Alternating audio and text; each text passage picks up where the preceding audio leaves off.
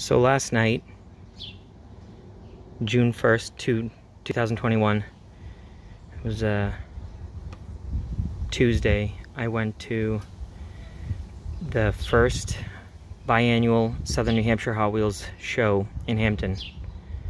And this is one of several things I got. I didn't I didn't get much. I traded a couple of cars and I bought this one for two bucks.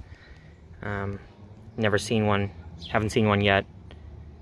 I'm sure people on the west coast and other countries might already have this one, but I was pretty excited, so I paid the two bucks and grabbed it. I'm gonna open it up and show you guys.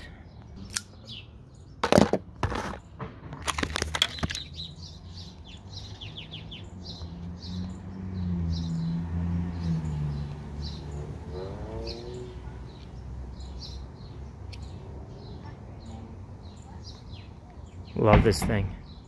It's an absolute legend as far as rally cars go.